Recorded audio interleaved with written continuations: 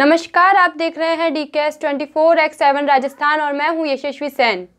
अब चलते हैं खबरों की ओर। पाँच माह से नौकरी कर रहे कोविड सहायकों को नहीं मिला वेतन, बोले उधार लेकर चला रहे हैं घर खर्च।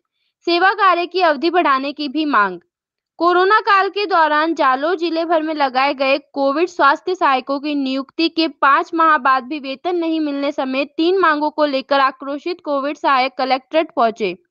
जहाँ जिला कलेक्टर को कोविड सहायकों ने ज्ञापन सौंपकर पाँच माह से नहीं मिल रहे वेतन दिलाने की मांग की। इससे पहले कलेक्ट्रेट के आगे 30 मिनट तक बैठे रहे। कोविड सहायक मांग कर रहे थे कि कलेक्टर चैम्बर से बाहर आकर ज्ञापन ले, लेकिन नहीं आने के बाद करीब आधा घंटे बाद 10 जनों ने अंदर जाकर कलेक्टर को ज्ञापन सौंपा।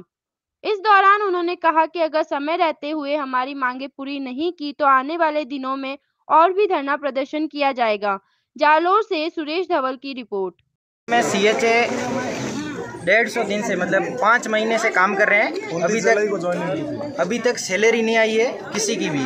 पूरे ज़िले में हर ब्लॉक में। बाकी ज़िलों में आ गई है सैलरी इसलिए हमने आज मैडम को कलेक्टर मैडम को ज्ञापन दिया है सैलरी के लिए। तो कलेक्टर मैडम ने हमें आश्वस्त किया है कि इसी महीने की अंतिम तारीखों तक मतलब पाँच सात दिन में या दस दिन में आपकी सैलरी आ जाएगी। और वेटिंग लिस्ट के लिए भी बोला है कि आरक्षित सीटें खाली है तो आरक्षित सीटों के लिए जो हमारे को स्टेट से निर्देश मिलेंगे, उस हिसाब से हम ये भी जल्दी आपका निवारण करेंगे इनकी वेटिंग लिस्ट का।